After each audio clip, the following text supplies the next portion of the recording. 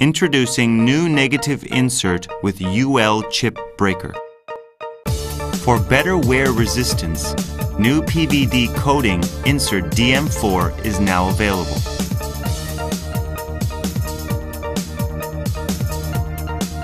UL chip breaker shows excellent chip control in a wide range of cutting parameters.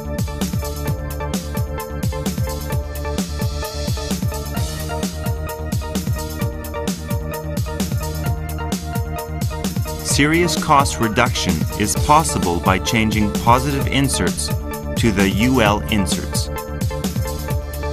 The chip breaker has a double positive shape, so it is so sharp, although it has a negative shape.